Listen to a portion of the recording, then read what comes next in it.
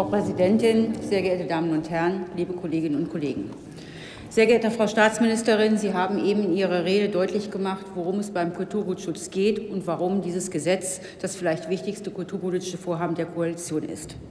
Auch meiner Fraktion ist es wichtig, dass wir endlich zu einer wirksamen Umsetzung der UNESCO-Konvention von 1970 kommen und entschieden gegen den illegalen Handel mit Kulturgütern vorgehen.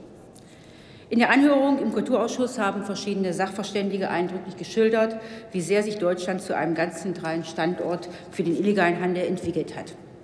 Auch die Berichte von den Kultur Kulturzerstörungen im Nahen Osten, die uns gerade im letzten Jahr erschüttert und fassungslos gemacht haben, haben den Handlungsdruck mehr als deutlich gemacht.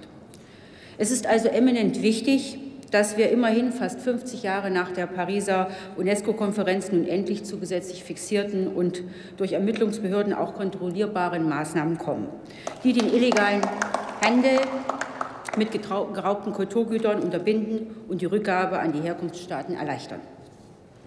Ihre Initiative, Frau Staatsministerin, haben wir daher sehr begrüßt und auch anerkennen wir Ihr Engagement in dieser Sache. Auch die folgenden Beiträge werden zeigen, wie einig wir uns in diesem Anliegen sind. Daher finde ich es umso ärgerlicher, dass von Seiten der Koalition kein Versuch unternommen wurde, worden ist, interfraktionell zu einem überarbeiteten Gesetzentwurf zu kommen. Es gab nicht einmal ein Berichterstattergespräch. Sie sind als große Koalition vielleicht viele, Sie sind aber eben nicht das gesamte Parlament.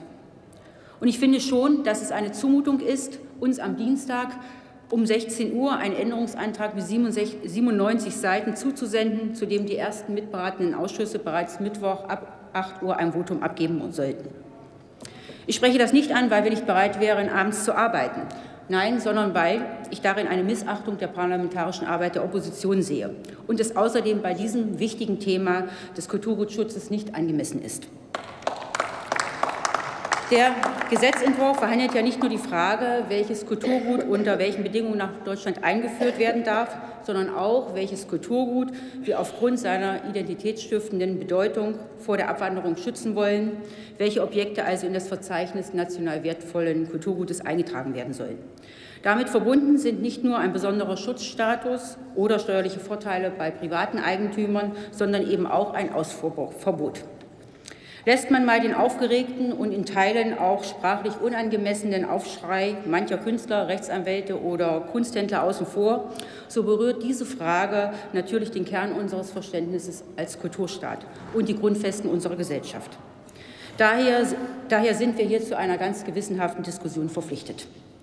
Die CDU-CSU-Fraktion hat es gestern im federführenden Ausschuss jedoch nicht einmal für nötig erachtet, unsere Vorschläge oder die der Grünen überhaupt zu kommentieren.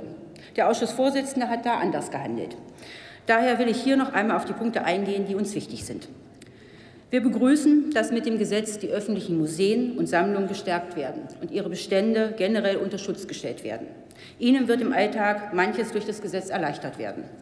Gern aber hätten wir die öffentlichen Einrichtungen dahingehend gestärkt, dass die Bedingungen für die vorübergehende Ein- und Ausfuhr von Kulturgut in den Paragraphen 25 und 73 auch auf Begutachtungs- und Digitalisierungsvorhaben ausgedehnt worden wären.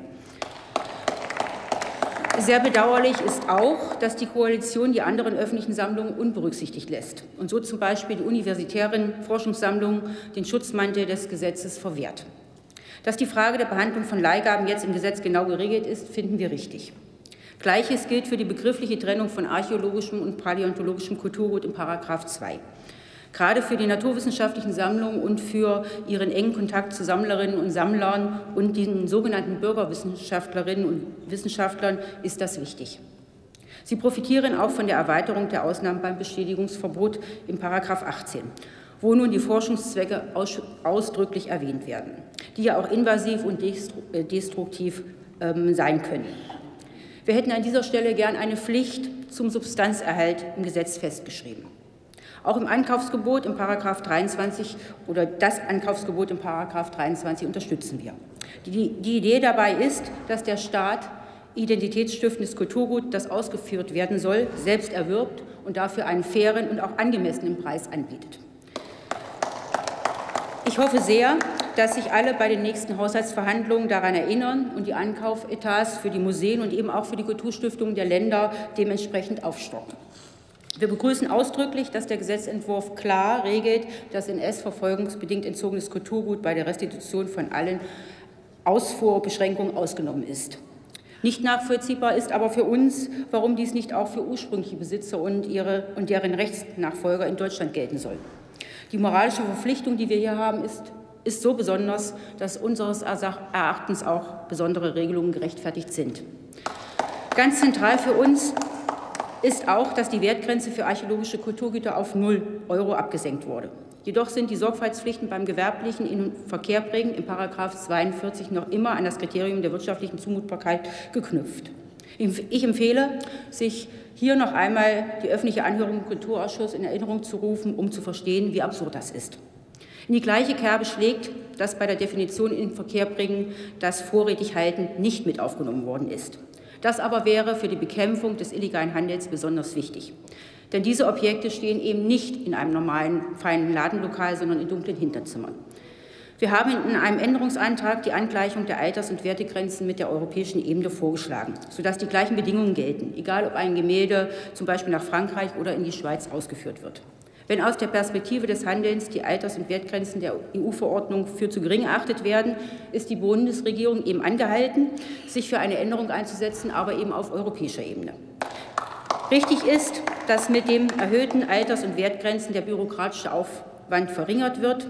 Dieser entsteht ja vor allem in den Ländern, denn bei den dortigen Behörden müssen die Ausfuhrgenehmigungen beantragt werden. Vom Kulturgutschutz ausgedacht darf dieser Aspekt aber nicht im Zentrum stehen. Der Bund ist einfach in der Pflicht, die Länder entsprechend zu unterstützen. Wir finden es gut, dass im Gesetz jetzt festgelegt ist, dass gerade ähm, der Erfüllungsaufwand bereits zwei Jahre nach Inkrafttreten des Gesetzes geprüft werden soll. Wir sind überzeugt, dass manches, was als Belastung empfunden wird, durch ein gutes Internetportal zum Kulturgutschutz abgemildert werden kann. Wir haben uns daher auch dafür eingesetzt, dass das Internetportal Beispiele für geeignete Unterlagen vorstellt und dass dort alle Ausfuhrbestimmungen der Dritt- und Vertragsstaaten verbindlich eingestellt sind, bevor das Gesetz in Kraft tritt. Leider ist es von Seiten der Regierung bisher unterblieben, eine breite öffentliche Debatte zur Frage anzustoßen, was im europäischen und im globalen Kontext eigentlich national wertvolles und identitätsstiftendes Kulturgut sein kann.